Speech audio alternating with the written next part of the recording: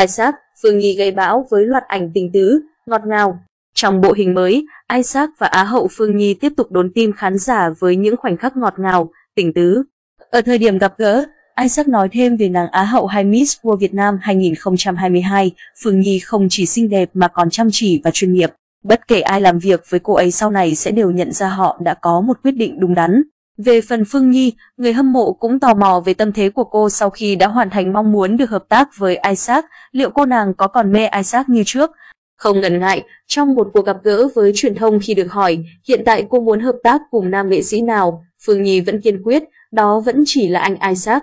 Rõ ràng, sự ngọt ngào và tinh thần hạnh phúc, tích cực mà bộ đôi này đưa đến cho khán giả là điều có thực. 2022 của Isaac có thể gọi là một năm bứt tốc, bứt phá giới hạn và tăng tốc trong sự nghiệp của mình.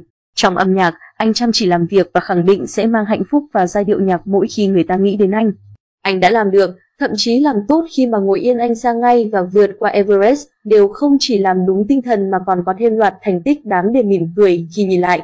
Ngày cuối năm, Isaac vẫn tiếp tục là nam nghệ sĩ đắt sâu quảng cáo, gương mặt được các nhãn hàng yêu thích và sâu diễn trong năm qua. Lịch trình của nam nghệ sĩ đa tài luôn ở trạng thái dày đặc. Anh cũng là một nghệ sĩ được yêu thích tại chương trình thực tế biển của Hy vọng. 2022 tôi làm việc chăm chỉ hết mức cùng nhiều sự nỗ lực thay đổi để phạm trù Isaac được mở rộng, để tinh thần hạnh phúc tới với khán giả của tôi bằng nhiều cách khác nhau. Sự dốc sức này nâng tầm những giá trị mà tôi có thể nỗ lực gửi tới người hâm mộ.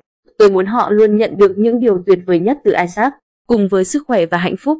Tôi chúc những người xung quanh tôi, những khán giả của tôi có một năm quyết liệt, quyết liệt với tình yêu, quyết liệt với mọi giá trị mà mọi người đang đeo đuổi.